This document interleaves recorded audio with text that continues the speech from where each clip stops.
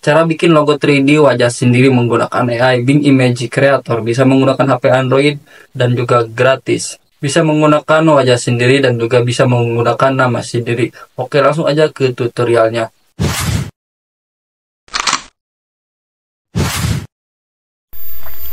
Oke, pertama-tama kamu buka dulu aplikasi Play Store dan tulis di pencarian Bing.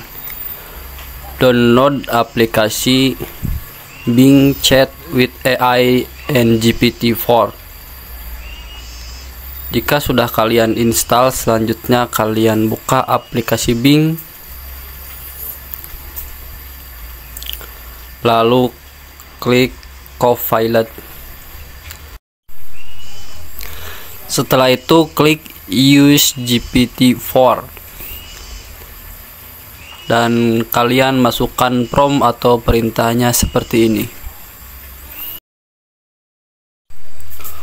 Logo 3D realistik lingkaran plastik sintetis di tengahnya ada pria tampan Indonesia wajah tersenyum ramah menatap kamera di di kiri dan kanannya sayap, kita bertuliskan nama pengangguran. Tulisan nama pengangguran dalam ejaan bahasa Indonesia, latar belakang energik Full HD. Selanjutnya kalian klik OK dan nanti tunggu hingga proses loadingnya selesai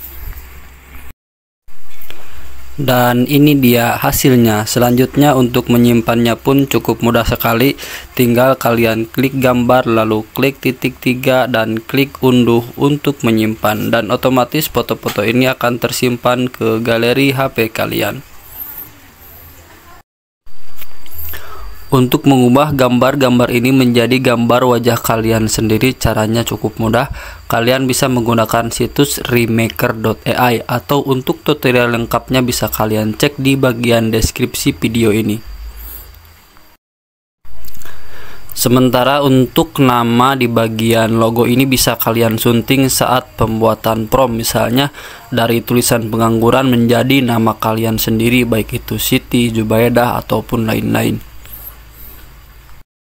Oke baiklah itu tadi tutorial bagaimana cara bikin logo 3D wajah sendiri dan juga bisa menggunakan nama sendiri menggunakan AI Image Creator.